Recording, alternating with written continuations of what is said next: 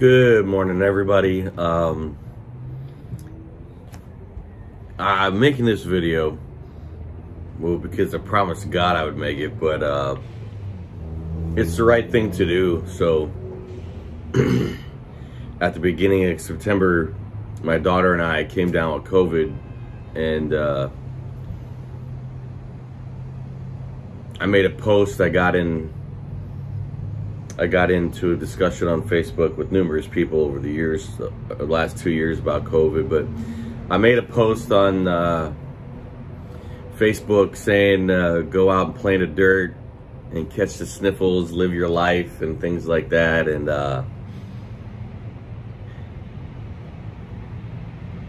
while I was going through COVID, I made a promise with God that I would make this video, that I would share it with everybody, and uh, I would just be real so just a little preface to everything. Um, you know, for the past two years, I don't buy into the COVID hype.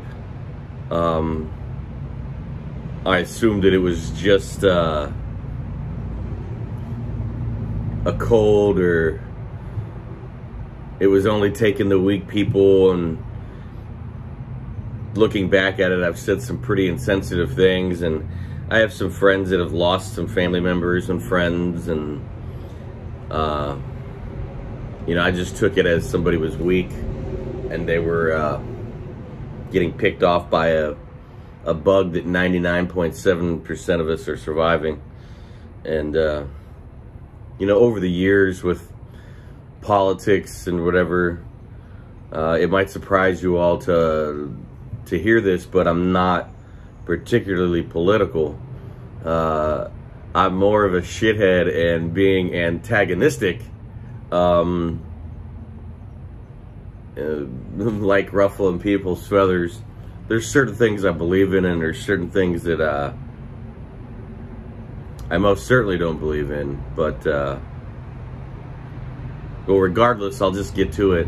Um, my daughter and I, we uh, we both came down with COVID. Cora brought it home from school. I think her highest temperature was 99.5. She had a, a, nagging headache for a day and a half. And she's lost her taste of sense, like her smell and her, uh, and her, and her taste, whatever. She's, she's still amiss with all that. She's trying to get it back in order. She was never ill. I wouldn't say ill. She didn't feel good for like a day and a half. Um, she wasn't bedridden. She didn't need, we really didn't even need medicine outside of two days. Um, and I'm grateful for that. And I understand there's a lot of people that that's the extent or the brunt of what they get when they get COVID. Uh, I am not a doctor. I don't pretend to be a doctor. I'm not a immunologist. I'm not an infectious disease doctor. Um, there's a lot of misinformation out there. There's also a lot of scare tactics out there. Um, first thing I want to say before I get into what happened to me is uh, I full-heartedly believe that there is a medical infrastructure failure across this company company across this country.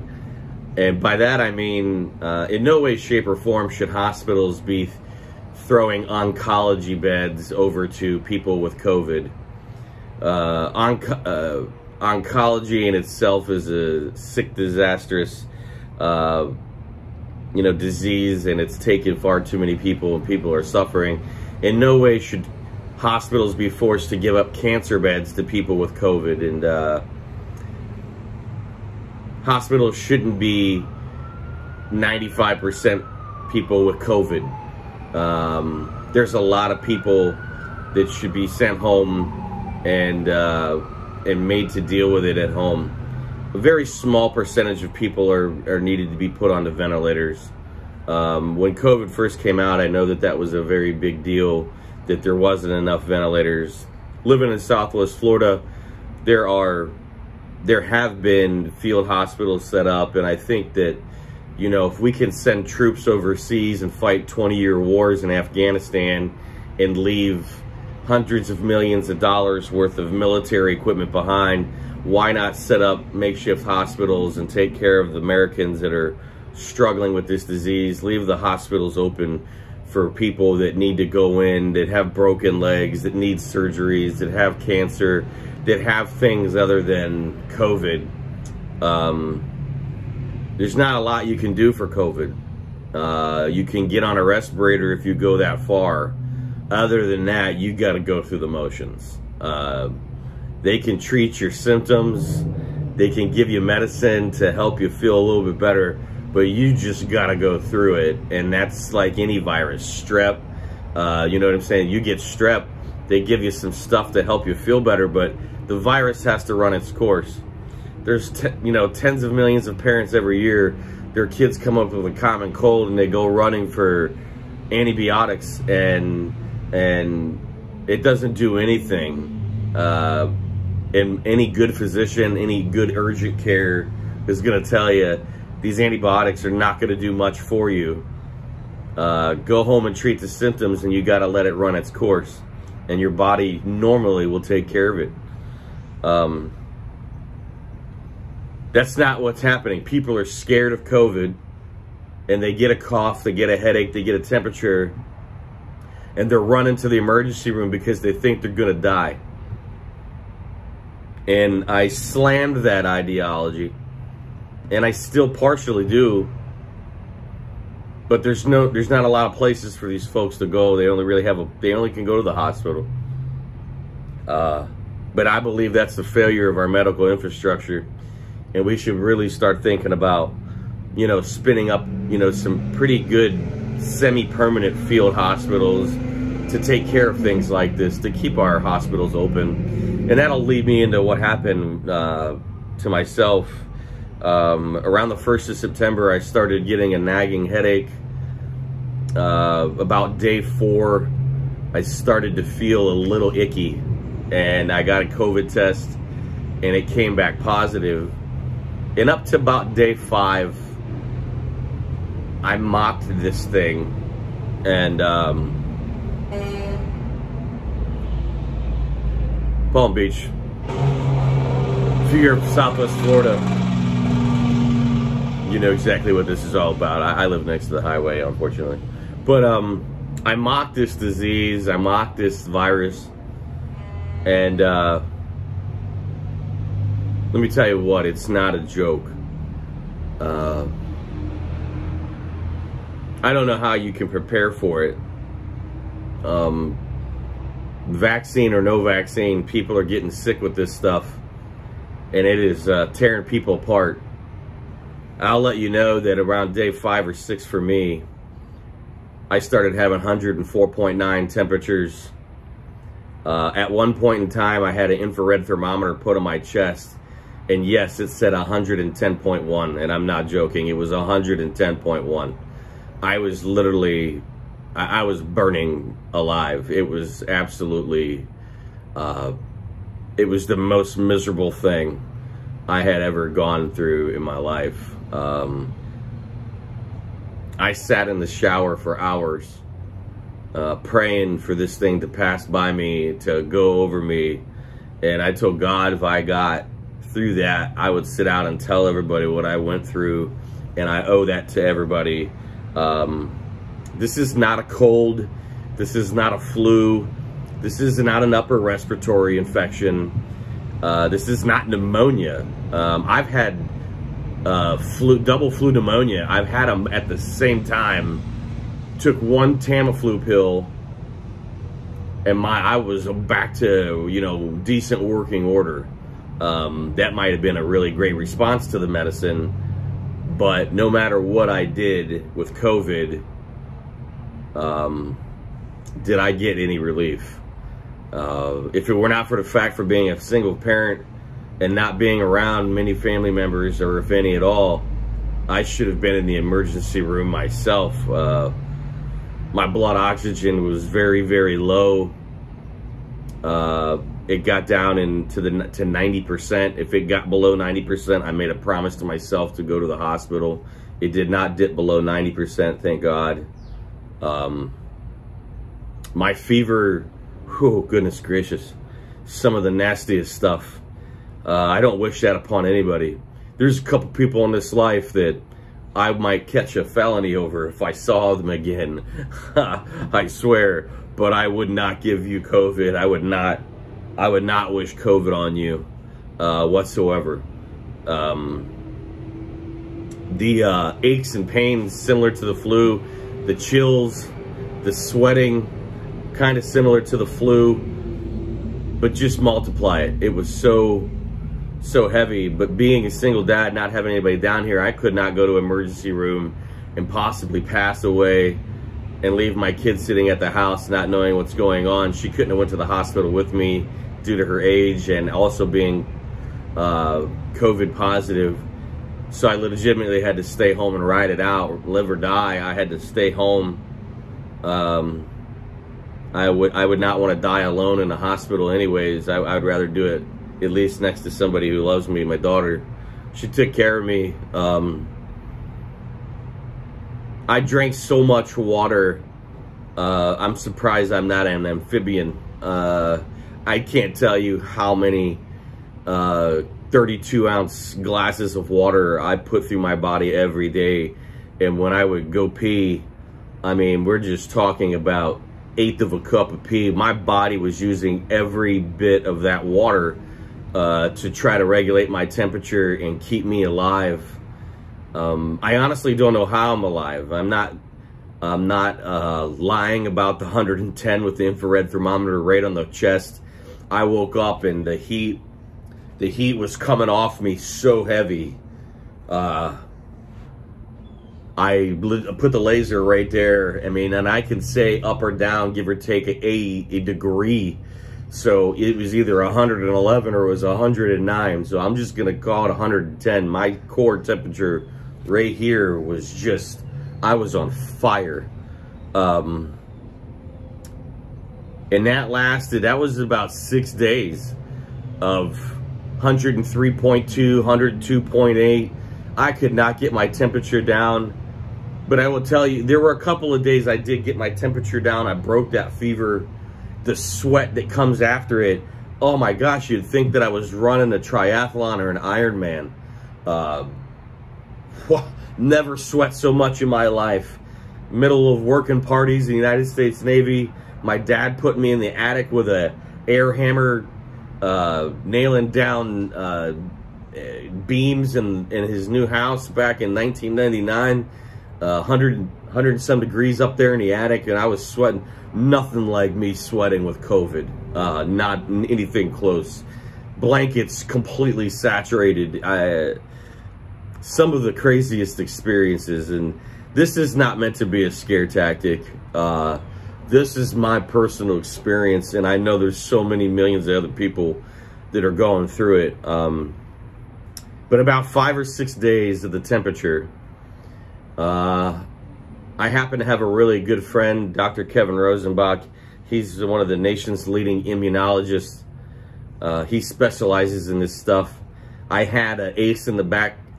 I had an ace up my sleeve and I didn't really use it. And for that, Kevin, I was, I don't know, too proud. I thought that it was, I underestimated it. And uh, uh, some false narratives out there. And I had an ace up my sleeve and I sure didn't heed your warnings and how ashamed I am, but still thankful that you uh,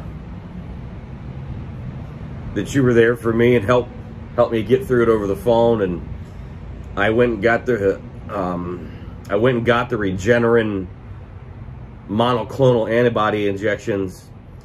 And about 30 hours after those injections were in my in my body, uh, I hadn't I never had a temperature again. My my body uh, even keeled out. Uh, the temperature went away, the sweats went away. Um, but then the onset of these coughing attacks came on. Um, my diaphragm, the temperature in my core was so bad that the nerves in my diaphragm became damaged and arrhythmic. They they were not correct. I I could not breathe. I could not breathe in and out like a regular inhale, exhale. I could not breathe in and out. When I breathed in, it was or I had to breathe super shallow. Um, my heart rate was 114 for five days steady. I couldn't get it below 110. Um, my body was really going through it.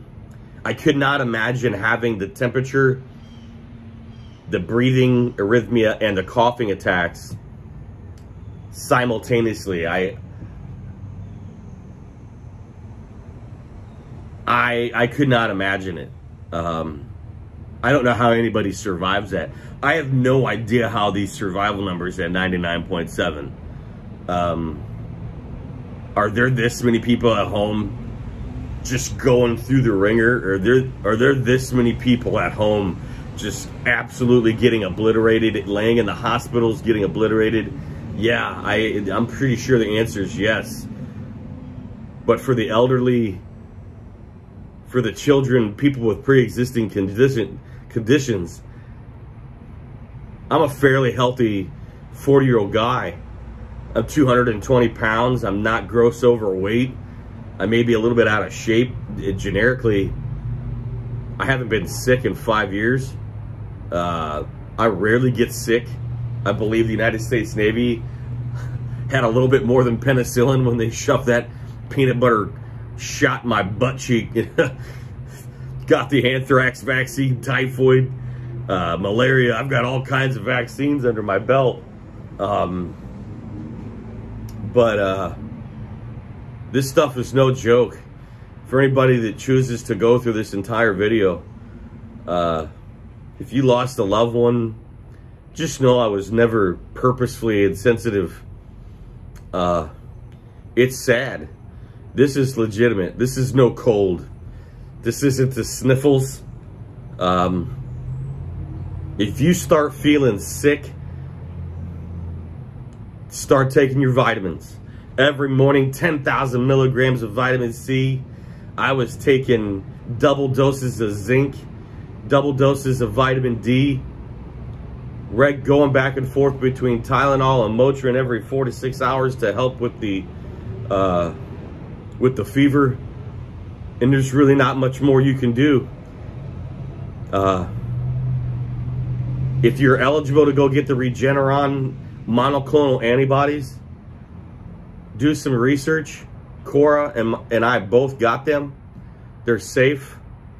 They're cloned white blood cells designed to go out and attack COVID, and boy, did it save my rear end. Uh, I I gave it everything I could. I stayed hydrated, and please stay hydrated. Um, I know everybody wants to get Gatorade and whatever. Drink water, sincerely. If you want to mix it up and have a Gatorade every once in a while, if you're blessed to still have taste, drink you a Gatorade. I don't care. Drink water. Keep drinking water. And you're not going to believe how thirsty you're going to be. Um, keep drinking water. You need it. If you get dehydrated, you're in for a hell of a ride. Drink water um, you start getting a nagging headache or you start to feel ill, if you're not already taking vitamins to boost yourself, to protect yourself from what might come at you anyway, because it's everywhere, um, start. You get a headache, you start getting body aches, take, some, take your vitamins and start drinking water. Your body needs every bit of help that it can get. It is absolutely no joke. Uh, going back to my apologies. For those of you who lost folks, my sincere regrets. A lot of you know I'm an ornery, antagonistic prick, and I don't mean to be that. I'm a loving, caring person. I would give my kidney, I would give half my liver, I'd give a lung if it meant I could save any one of you people, or a stranger for that matter. Uh, two years ago, there was a little boy in Ohio who I was a match for and uh, I was number four on the waiting list to give him one of my kidneys. I didn't know him, but I knew he deserved to live, and we all do. Um, sorry for this background noise, it's the best I can do. But uh, I still want you to go out and live your life. And that's going to bring me to the second thing, and it's going to be a little bit of change of a tune here. The COVID-19 vaccine after sitting with one of the nation's number one immunologists who used to work for Dr. Fauci, who is a leader and a super well-respected person, Dr. Kevin Rosenbach, and he's my best buddy. He's a beautiful human being. He's a compassionate, loving doctor. He's an amazing person. And I got to sit down and really have a long talk with him about the vaccines. And, and folks, listen, this isn't political. This is not, uh, I'm not the doctor, but this, this Friday, hopefully, I'm going to have a radio show and I'm going to take as much time as the doctor will give me. And I want you guys to tune into my Facebook. I want you to tune into my radio show. It's been off the air because I've been sick and some other things, but this Friday I want to I want to sit down with Kevin Rosenbach. He's an amazing amazing physician and I want him to tell you in more doctor detail what I'm going to tell you right now. Vaccines are vaccines. Our mythology of vaccines is the it's like a Nintendo for you folks out there. The vaccine, the delivery method itself has been around for years. Years. The delivery methods have been around for years. What they choose to load into the vaccine, the antibodies, the, the virus itself surrounded in fat lipids or mRNA, whatever it may be, uh, the delivery methods have been around for years. I was one of the ignorant people that sat around and said, this COVID vaccine's too new. They can't possibly know how to defend it. Well, listen, um, I'm here to tell you that I was wrong. And I probably posted 500 things on social media just because of a political antagonistic agenda, and that's wrong and I'm telling you I was wrong. I don't have the vaccine, so this isn't because I'm vaccinated, but I sat down with one of the smartest human beings I've ever met in my life, and listen, vaccines are, are the same. What they loaded up with to fight the disease or whatever, flu vaccines. We get flu vaccines and, and pneumococcal vaccines every year. Some people do, some people don't. I've gotten them sparsely throughout my adult life. Flu vaccines aren't designed for you not to get the flu. They're, they're there to help you. If you have an, a, a great immune response to that vaccine, yeah, it's going to stop the flu. You're probably not, you're going to get it in you, but your body's going to be so well prepared because you have that antibody response from the vaccine. You'll never know that you had it. It'll come in and it'll be gone. But for some of us who don't have that antibody response to those vaccines, you're still going to get the flu, but you're probably not going to die from it. You might, but the numbers are drastically lowered. Your symptoms are drastically lowered. The, the pain and the suffering is drastically lowered. And that's the same thing for the COVID-19 vaccine. Um, the monoclonal injections work a little bit different, and I know what it did for me oh goodness. But the vaccine isn't this new experimental thing. Uh, it's COVID-19. They put it into sequences. They put it into fat isotopes, whatever it is. I don't know all the super technology here. Don't super quote me. You can hear it from the horse's mouth when I go live this Friday with Dr. Kevin Rosenbach. Hopefully, uh, no disasters uh, as long as schedules maintain, I want you guys to hear it from a legitimate, real, non uh, politicized. He is not a political person. Um, he may lean one way or the other for certain deals, but this is not a political person. This is a caring, oath abiding, amazing physician. I want you guys to listen to him this Friday. Uh, going to be around uh, 1 to 2 p.m. Eastern Standard Time. We're going to sit down and have a heart-to-heart. -heart. I'm going to give you guys the ability to text questions in, regardless of what they are. He'll answer them. And, and I'm going to tell you, and I'm not calling you conspiracy theorists. I'm not calling you, they're trying to change our DNAs and they're trying to uh, get that vaccine, folks. Uh, it can it can help. It could help you. It might not stop the transmission of the disease. It might not stop you from getting sick. But if it stops you from going through one day of what I went through, uh, it's worth it. It's it's absolutely worth it. Um, if you have underlying health issues, of course, consult your physician. Cora had Kawasaki's disease when she was a kid, as did I. I'm sure my dad's sitting here laughing. But one of the things that happens with Kawasaki's disease is it leaves you with a high rheumatoid factor. It can, can affect your renal system, cause jaundice. It can act, and it can give you aneurysms. And Cora, unfortunately, uh, developed an aneurysm on her heart. And when you get uh, your body temperature acutely raising, it can affect an aneurysm. They can explode. And so even when Cora got her HPV Gardasil vaccine, you know, it was a big decision for me. Um, there was also some other things with that Gardasil vaccine. People were dying, and I guess you'll have those things. So it was a big deal for me to get my daughter vaccinated with that. And I monitored her temperature every 30 minutes for the next three or four days just to make sure she was okay.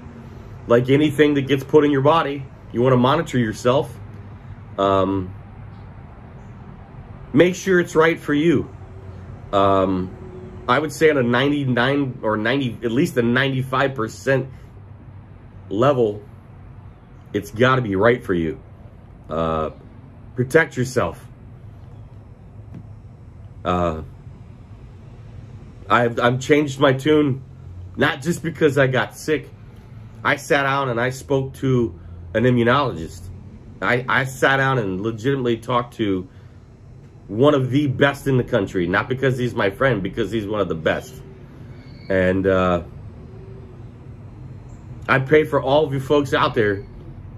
I hope it doesn't affect your families or your friends. I hope that you stay safe. I hope this message reaches some of the people that I may have offended. Chipmunk, please know, please know that was not, I was not trying to be, and I know I did ended up, ended up doing it. I'm for, I'm sorry. I'm very sincerely sorry. I love you, Marissa. Um, there's people out there that got loved ones on ventilators. And I, I hope that your family members pull through. I hope your kids stay safe. Get the vaccine. Wear a mask if you feel safe. We all know they're not 100% effective. We get it. It's gonna, some things are gonna leak through. No, no duh. If you wanna wear a mask, wear a mask. I urge you to do whatever you need to do to feel better, to feel safer. Um, if you're coughing, if you're sick, stay home. Do not send your kids to school. Learn how to quarantine be respectful of people. Try to mitigate this. We're a huge village of people. It's 300 and some million of us, but we got to try to mitigate it. Whether you're a Democrat, whether you're a Republican, whether you don't give a crap about public politics, this is a nasty virus. It's killing people. It's destroying businesses. It's destroying lives. It's just, you know, it's it's legitimate. Uh, I learned the hard way, much like a lot of things in my life. Uh, but I'm a humbled person, and I'm just trying to be as absolutely, completely sincere. If you spent this last 30 minutes with me, all the respect and thank you for your time. I tried to keep it uh, straight to the facts. Like I said, I didn't. This isn't political, everybody. Stay safe out there. Uh, take care of each other. Stop all this hate and stuff. If you get sick, take water. Take water. Count to 10 and take more water. You need it. You need it. Stay hydrated, my friends. And I'm not talking Dos Equis. Drink your water. Uh, all the prayers out there to everybody. Stay safe. Have a good have a good fall. Um, best wishes to everybody. Thank you for your time.